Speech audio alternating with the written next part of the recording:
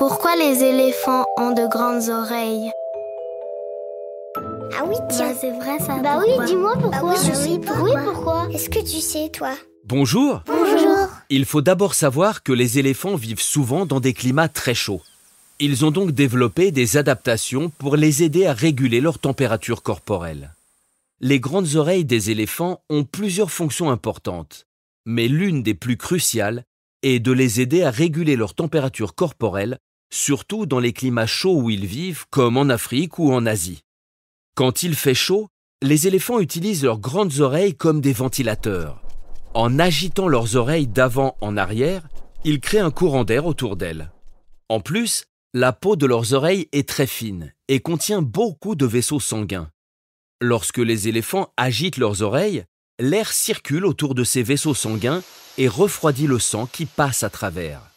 Une fois refroidi dans leurs oreilles, ce sang retourne dans le reste de leur corps, ce qui aide à diminuer leur température corporelle. Mais les grandes oreilles des éléphants ne servent pas seulement à les rafraîchir. Elles sont aussi utiles pour communiquer.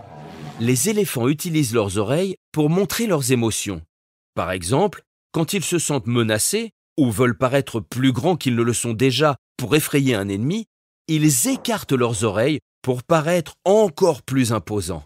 Et puis bien sûr, les grandes oreilles aident aussi les éléphants à bien entendre. Les éléphants ont une excellente ouïe grâce à leurs grandes oreilles qui captent mieux les sons, ce qui les aide à entendre les bruits de loin, comme les appels des autres éléphants ou les dangers potentiels.